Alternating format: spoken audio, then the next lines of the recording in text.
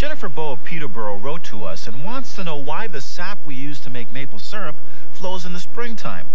Well, Jennifer, it all comes down to a severe case of gas. Well, allow me to explain. The sap that we use to make maple syrup comes from starch that the tree produces. Now, this starch is stored near the base of the tree during the summer months. Now, eventually, the starch is converted to sugar and stored during the winter months as a source of food. You see, a tree doesn't totally go to sleep during the winter. It continues to breathe and generate carbon dioxide gas, much like we do. But there's a catch. You see, the tree can't get rid of all that carbon dioxide gas because it has no leaves through which to expel it. So it's forced to store it. Now, when spring rolls around and the air temperature rises, all that carbon dioxide stored inside the tree expands.